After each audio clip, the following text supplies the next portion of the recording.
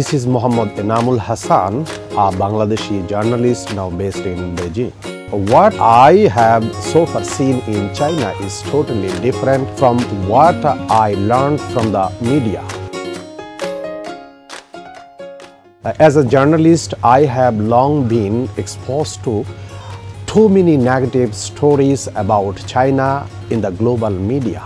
The negative stories uh, made me curious uh, to know the real China on the ground.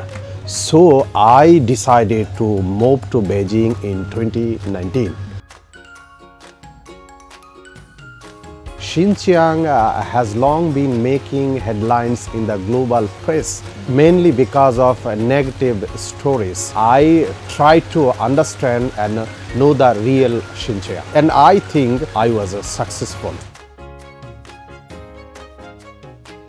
Speaking of Xinjiang, I will never uh, think twice to say that uh, its natural beauty, uh, delicious dishes all are halal and Muslim and of my own taste what I usually eat in Bangladesh back home. And its uh, uh, smiling, uh, welcoming and warm-hearted people impress me the most because wherever I have been to the smiling people welcome me with their uh, warm and open hearts.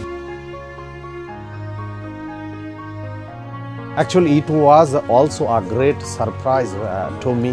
When you have been to Na- Nalati, then I have seen they uh, develop their own criteria for uh, poverty eradication. Like uh, people uh, growing up horses and they uh, um, export their uh, horse meat and horse milk uh, to other cities of China, uh, they are getting richer with them. We have been to a village uh, that I saw the people are producing uh, lavender a lot. And uh, that was uh, very appropriate for them because of their surroundings, their environment.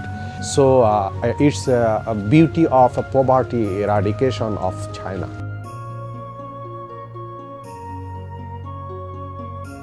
Uh, Actually, I have written a lot of articles and now I am writing a book uh, on Xinjiang. So I have already said so many things to the world.